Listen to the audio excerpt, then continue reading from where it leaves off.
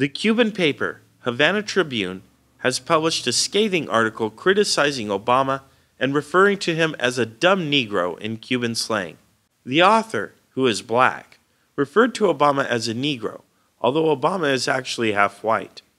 Race factors heavily in the article, as the author accuses the half white Obama of presiding over a racist country, saying he permits white police officers to murder blacks on American streets. The article also calls on Obama to end the genocidal Cuban embargo and to return Guantanamo Bay to Cuba. Cuban Americans have criticized the article for its overtly racist speech and disrespect of Obama. Afro Cubans make up 60% of the nation's population, but far fewer hold government office. Most of the Cuban government is white. Blacks still live in segregated neighborhoods in Cuba, and few work in the tourism industry, so they are kept out of sight.